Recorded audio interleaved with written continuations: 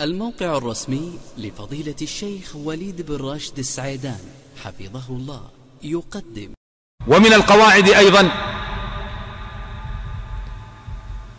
يجتمع في العبد الواحد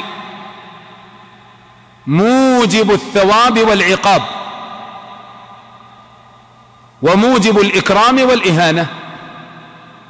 يجتمع في العبد الواحد موجب الثواب والعقاب وموجب الإكرام والإهانة خلافا للخوارج الذين قالوا لا يمكن أن يجتمع فيه موجبان متناقضان.